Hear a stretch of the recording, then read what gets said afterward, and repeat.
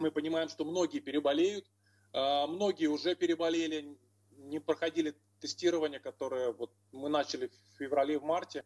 Многие даже переболели в январе но при этом э, какое-то время понадобится для того, чтобы сформировалась вот эта иммунная прослойка, чтобы можно было уже снять все эти изоляционные карантинные мероприятия в Москве.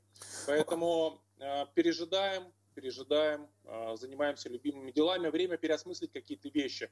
Сейчас, кстати, прекрасное время есть, чтобы заняться образованием. А, у меня к вам личный вопрос. Дело в том, что со мной вчера приключилась одна очень неприятная история. Я хотел бы у вас получить персональную консультацию. Я зашел к своей бабушке, она живет одна в соседнем доме со мной. Ей 93 года. И примерно через полчаса после нахождения у меня, а, моего там у нее, я обычно к ней хожу в маске, а, сразу же с порога мою руки и прошу ее не приближаться ко мне ближе, чем на полтора метра. Так вот, примерно через полчаса после того, как я там у нее находился, она мне рассказала, что где-то за полчаса до моего визита а, к ней заходил а, участковый терапевт из нашей поликлиники для того, чтобы произвести так называемый плановый осмотр престарелых.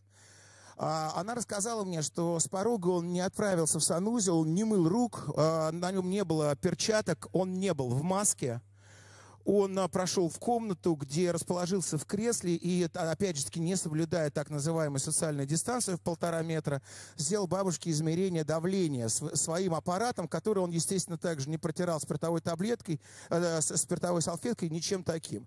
Вот таким вот образом вчера моя а, старушка-бабушка, ну, я, я считаю, подверглась, а, ну, очень серьезному, серьезной опасности заражения, так как терапевт, в общем, понятно, это медицинский сотрудник, он работает в поликлинике, он вполне возможно первую половину дня принимал чихающих и кашляющих граждан, а перед бабушкой был, я даже не представляю, в такой вольной манере, без перчатки и не мой рук, у, я, я даже не знаю, какого количества, в каких, в каком количестве квартир. Вот я вчера так а, к ней сходил, и, соответственно, я был у нее буквально через полчаса после его ухода. Скажите, что мне теперь делать? Перед этим я две недели а, стабильно сидел на самоизоляции и, в общем, уже очень сильно радовался тому, что а, я вот такой вот ответственный гражданин, а, понял, что к чему, вовремя спохватился, накупил всего, что надо, сижу у себя дома, мой дом, моя крепость, ничего со мной не случится, мне никуда ездить не надо, ни с кем контактировать не надо. И вдруг такой казус – а нужно ли мне бежать, например, сдавать а, сейчас а, этот тест? И вообще, вот что мне сделать сейчас? Сегодня идет второй день. Я хочу понять, каким, а, какой симптоматике прислушиваться и так далее.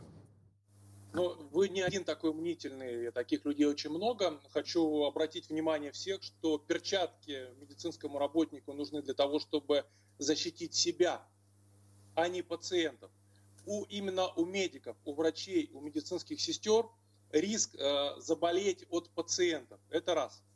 То же самое касается маски. Маска нужна пациенту, больному человеку. Это врач-терапевт подвергал себя опасности, э, если ваша бабушка была без маски. Первое правило, когда ты приходишь к пациенту, нужно просить пациента, чтобы пациент надел маску, чтобы пациент не заражал. Потому что врачи ежедневно проходят врачебный контроль, измеряют температуру тела, сатурацию, уровень насыщения. При первых симптомах они отстраняются от работы. То же самое происходит э, с тестами на коронавирусную инфекцию. Врачи тоже проходят это тестирование с целью определения, есть ли носительство или нет. Поэтому, э, когда вы приходите сдавать кровь, если медицинская сестра берет без перчаток, она собой рискует. У нее все нормально, не она заражает вас. Но э, обратите внимание, что у медиков э, сейчас за, медикам запрещено пользоваться полотенцем и мылом пациентов, и у них у всех есть антисептик и спиртовые перчатки.